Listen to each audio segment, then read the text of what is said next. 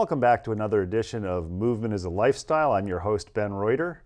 We promote the ethos that movement is a lifestyle in the Pittsburgh area, especially the South Hills, and try to find interesting people and or knowledgeable people, sometimes both, as in the case of today's guest, to talk about movement, health, wellness, uh, whether you're a young person, old person, or you probably saw in a past episode, have a four-legged friend who you may refer to as a person even though they're a dog. Today we're here with Frank Velasquez. Frank is the Director of Sports Performance for Allegheny Health Network's Sports Medicine and Performance, which is a mouthful. Uh, in a previous lifetime, he worked in Major League Baseball, and in a previous lifetime before that, he was an athletic training student at the University of Michigan. So, all you Pitt fans, don't say anything. Frank, thanks for taking the time to come on Movement as a Lifestyle. Ben, thanks for having me. It's always a pleasure. I know one of the things that we've joked about before, since both of us are not Pittsburgh natives, is if you're from the North Hills, you don't know what's happening in the South Hills, and vice versa. And God forbid you have to go through the Squirrel Hill tunnels.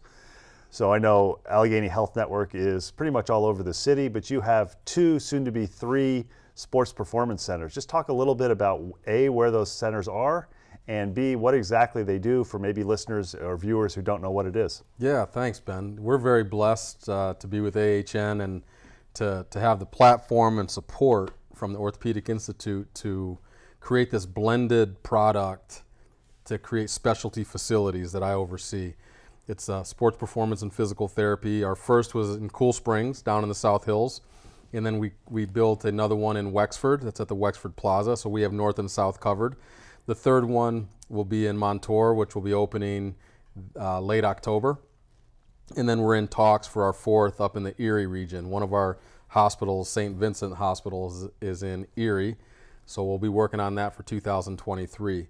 Uh, these specialty locations are target market for active adults, developing youth, and athletes of all levels, from our kids just getting started to our Olympians, professional elite, um, where we provide physical therapy and sports rehabilitation, strength training, speed agility, power development, and then recovery services. And I know one of the things that I like about having sports performance associated with a hospital or a medical facility, I know you and I have talked in the past. Sometimes, if you're a parent or you're somebody who's an athlete yourself, you don't know exactly where to go for injuries if you get injured because you know there are orthopedic surgeons and then there are orthopedic surgeons and other types of physicians physical medicine physicians who understand the importance of movement and those who don't and then, even more importantly, for the rehab setting, we all know that physical therapy, athletic training is developing, um, but there's still some old school people who believe put an ice bag on it, a little ultrasound, and exercise is not a good thing. And that's not what your center does. It does not only rehabilitation for people who want to be active, but maybe people who don't, or excuse me, people who do want to be active, but maybe they don't know exactly how to get started. If you could talk a little bit about that, because a lot of people because of COVID have said, hey, you know, I want to be more active. I recognize being healthy is going to help me fight off diseases and improve my quality of life. Sure. So um, the model is is just that. It, it, you don't need to be injured to come to us. You don't need to be an athlete to come to us. In our eyes, everyone's a performer. Um, you'll come in, we'll do a kinetic chain assessment, find out where your restrictions are, where you're tight, loose, weak, strong, and we customize the program for you and we take a lot of pride in building programs that are age appropriate. So as we start our youngsters, they're not going to be under a barbell with you know lots of weight on them. Or on the other end of the spectrum, if we have a you know an elderly person that wants to continue to golf or carry their grandbabies without pain, we build programs appropriately for the age as well as the person based off the assessment that we do.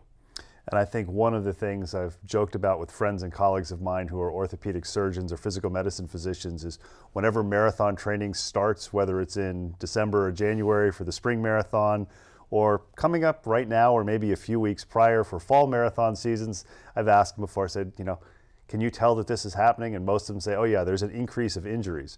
So, a facility like uh, Allegheny Health Network Sports Medicine and Performance, this is where people can go before. It's like they get talked into joining a, a team in training or a marathon group and they've never run before. Personally, I think it's a good idea for them to seek out, maybe it's not AHN, but somebody else who mm-hmm. can look at them who's qualified to say, hey, these are some weak areas, these are some things, you know, maybe you're not set to do the marathon at this point in time, or maybe you are, but you should do these additional things that maybe your friends aren't doing, with the goal being, you finish the marathon, you have a good time, and you move on with your life without saying, "Yeah, I ran a marathon once, and ever since then I can't walk." Sure, we'd love to see people on the front end all the time, but sometimes we do see them on the back end where they end up getting injured and getting into one of our AHN primary care sports physicians to PT, and then they find us. But once in a while, they do listen to their friends or they do some research and realize, you know, I might include some strength training in my marathon plan, marathon program, where we can help you develop that program. Whether you come in, like you said, our facility the YMCA, LA Fitness, or even your own home. You don't need a half a million dollar facility to really keep your joints protected and, and your skeleton in a good neutral position. We can do some things at home. And I know you've had a long career working with athletes, working with baseball athletes, working with football athletes. We're filming this uh, towards the end of August where high school sports are slowly ramping up. Mm-hmm. Some of them are ramping up faster than others. Are there recommendations that you might have for parents? I know your son plays football and he's a track and field athlete, and I think sometimes that's probably good because dad has extra knowledge, and sometimes that's probably bad because it's like, well, yeah, you don't know what you're talking about, dad. What are some recommendations or some things you can give maybe for parents whose kids are first getting into sports, they're first playing their fall sport, whether it's soccer, field hockey, football, or even cheerleading? Sure. So that's a great question. So one is you want to have a physical, and I know if they're involved in school sports, we do a great job across the board, no matter the high school you go to. I think it's a state law. You have to have a physical before you participate. That's number one. Um, two is if you're just starting off in the sport, which by the time they're to high school nowadays, they have years of repetition and years of experience. You want to uh, make sure you're doing the things you need to do for that sport. That doesn't mean X's and O's that means, you know, what can I do better from a nutritional standpoint, rest and recovery and hydration? What can I do better from a flexibility program or a strength training program? To number one, reduce the risk for injury because our goal, and I was the same way when I was in professional sports, is to keep our product, meaning the athlete, on the field. So we want our programs to reduce the risk for injury. And then number two is, you know, maybe I can enhance, put myself in a better position to enhance my performance if I can run faster or jump higher or hit the ball further. And that's where your strength training comes in. So by the time they get to high school, they should be in a strength training program, whether it be with the school program or another program like ours with AHN. What about if they're younger, if they're six, seven, eight, and mom and dad say, hey, you know, time to start playing youth football or there's youth soccer or whatever it is? What should the parents know? Because some parents are going to be like you who've been active all their life and in the profession, and other parents may not have been athletes. They may have gone in other directions, but their son or daughter wants to be an athlete. Sure, the younger generation is is um, definitely uh, it's different being an eight to ten year old now than what it was when we were eight, eight to ten years old. Um, my best advice to them is to to be playing, get outside, play, be less sedentary on the couch with video games, or God forbid you're already texting on phones. Um, and as a parent of that eight to ten year old is is uh, be present. You know be present. Go to the practices and watch. Don't coach watch as a parent let the coaches coach and watch what's going on. Um, again they don't need to come to us for strength training. They just need to go out and play. And really to to teach our young athletes the difference between soreness and injury. Um, some of us, some of them have never experienced soreness, and all of a sudden it's oh my shoulder, you know, and really in a day or two it's gone because it's muscular soreness. Maybe they had a compression, you know, con- compression, uh, contusion injury, uh, where we throw a little ice on it, maybe a little bit of rest. Rest is good. Rest is a lost art.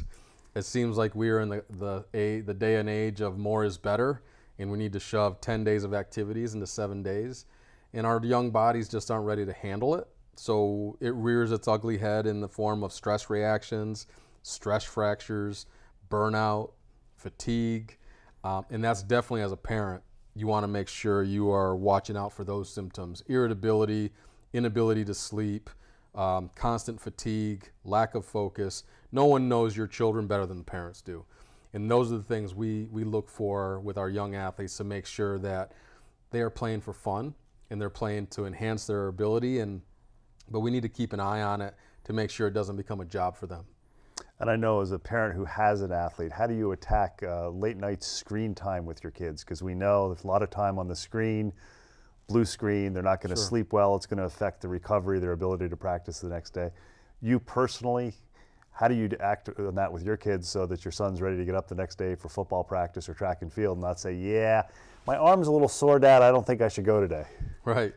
Uh, well, I always talk about the parents are the parents and the kids are the kids for a reason. I'm not going to let my 17 year old or 13 year old child dictate what goes on in our house. Um, you can call that material, military esque. But um, no, you set guidelines, and, and this is the way I explain it to families. So, Ben, if I put a 10 pound dumbbell in your hand and I had you do bicep curls, you know, for an hour, the bicep's going to be sore. So, our electronics, and I know at school we're on tablets, we're on laptops, uh, we're on smartphones, we're on televisions, we're around electronics quite a bit. So that is constant exercise for our toolbox, what I call our toolbox in between our ears.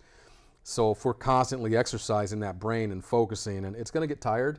And then when I do experience maybe a little a, a bell ring or a concussion, it may be a bigger impact because it's tired. So that's how I explain the analogy is like you're you're exercising your brain all the time. You're not giving it a chance to rest and recover. Like I put that dumbbell down and I can, you know, I do another set of 10, but I'm not doing it for constant constant hours on end, which sometimes even as adults, we can get caught up in electronics. So setting guidelines and making sure that at a certain time, depending on the age of your child, that the electronics get put away and they get put on the charging station. More importantly, to let this thing rest and recover, just like I let this rest and recover before the next day. And I mean, we'd ideally, in a situation with kids, like kids to have a really good diet and eat healthily. You know, ideally, you, you'd be, have, be well set up like they are at the University of Michigan or a Pitt, where the athletes have exposure to dietitians. Sure. But just again, you know, I know you're not a registered dietitian, but you are a parent of athletes. Right. What are some general recommendations for parents who maybe haven't worked with an athlete before because their kids are just starting out, or suddenly they found their child has had that growth spurt, or rather than being the person at the end of the bench, they're one of the starters, they're getting more practice time, they're getting more playing time, and nutrition becomes even more important, both with the food and with the fluids? Sure. You know, you hit the nail on the head. As a, as a practitioner in health and wellness, as a physical therapist or athletic trainer, strength coach, we know a lot about it. Now, none of us pretend to be registered dietitians. I was very fortunate. I learned from one of the best, Leslie Bonci, who was with Pitt, who was with the Steelers, who's now with the Kansas City Chiefs. She worked with Gatorade and Usain Bolt. I had the privilege of working with her when I was with the Pirates. So she, she is my education. She's my go-to. Uh, we keep it super simple. Number one, we're eating. You know, we do not depend on five-hour energy, energy drinks, pre-workout drinks. The thing, the, the products that are sold and really catered to our youth, um, we we teach that food is our energy, and we keep it super simple. Again, we eat breakfast, we eat frequently, and then we pay attention to what we put in our body. A lot of the, this is my 12th year out of pro sports into the high school, middle school, the general population industry and most people don't eat enough, believe it or not, especially our young athletes. Uh, they just don't think about it, and it's something that we're always educating. Breakfast, early and often, and then the 80 20 rule, we call it. Same with hydration. That's more important than our food. We need to drink and eat early and often. Water's number one, but water can't be everything. There's a place for sports drinks, there's a place for fruit juices and caffeinated beverages, but nothing replaces water. But between the two of them, food and drink, just like we score runs early and often. I know one of the things that uh, I used to work with some youth swimmers when I lived in Florida, and the hardest thing the coach had was a lot of the youth swim meets start at 7:30, 8 o'clock in the morning, mm-hmm. and the kids would get up to travel to the swim meets, and they'd get up literally 20 minutes before they had to be at the pool, and he had to teach the parents and train the parents, not the kids, that hey, breakfast is important, even if it's a bagel and peanut butter, or in some cases that might be appropriate times for an energy bar, just to have some calories before you start swimming, or you have that hour and a half practice or two hour practice. That's gas in the tank, Ben.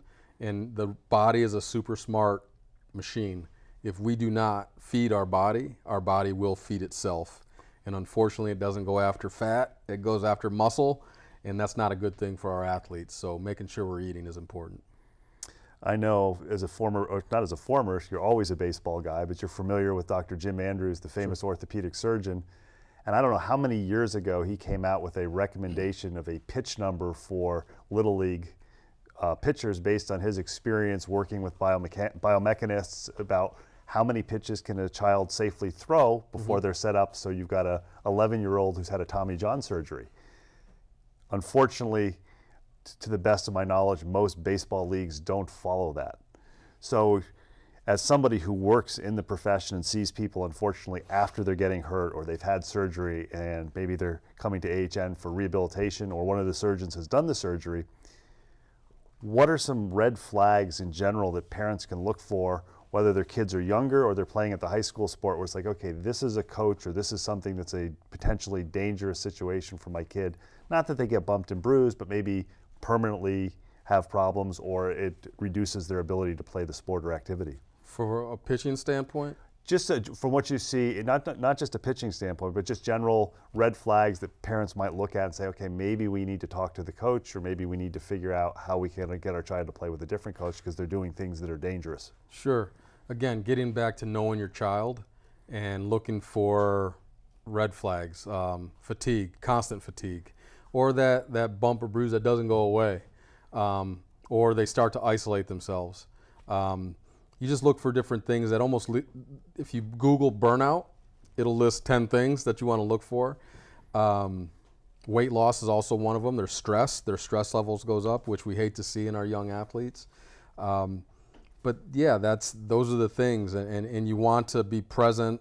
You want to pay attention to what, not that I we, we call them helicopter parents that are always hovering around and, and really bugging the coaches, but know what's going on especially with those kids because they're not always, even I think the, the generation in general aren't very big on words. Uh, how was practice today? Good. and that's all you get. So you need to investigate a little bit as a parent and make sure you know you're you know uh, the volume. Volume is big. Um, that there is time for rest and recovery in between practices, games, outings, and uh, watching your kid and knowing you know just looking for any big changes in character or persona.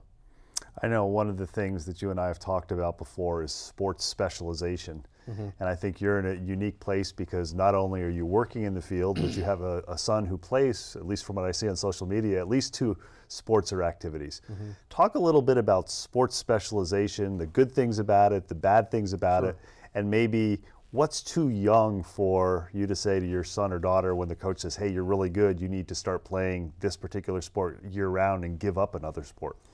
Well, I'm a big believer in multi sports. Um, one for the development, the rounding out the development of that young athlete, and number two is for rest.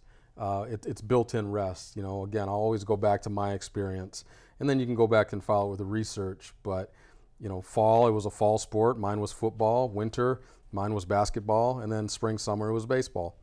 And when baseball summer ended, I was put the ball and bat down, and I went back to football. Now, with many sports, you can play year round. Um, more is better. Uh, specialization, you know, we still preach the multi sport athlete. I think families feel like they're falling behind if they're not continuing to get those reps in with the travel organization or practicing while they're also playing another sport because they are doing the multi sport, but they're also keeping that one sport going all year. Um, you just want to make sure it's not too much. Again, the volume for the kid. And then understand they have homework and they have to be a fifth grader or sixth grader and have a social life. It, it needs to be a balance. Um, is there a magic age? You know, I'm all about repetitions and practice, uh, but there needs to be a time where we're changing up the game or changing lanes. Um, for the reasons I said, to make my ball player a well rounded athlete, because maybe soccer gives him some things that baseball doesn't when it comes to footwork. And also gives his arm, when we're talking about a baseball or softball player, gives his arm a break or her arm a break. Um, early specialization leads to really good young athletes, but the downside of it is it, it could lead to overuse injuries um, and it could lead to early burnout. Overuse injuries when it lead to doctor visits and surgeons, and that's really the biggest reason, other than the quality of family life, why I stayed out of professional sports. It really breaks my heart to see a 12, 13, 14 year old going to see one of our AHN orthopedic surgeons to have a surgery. Uh, and then they come to us for physical therapy.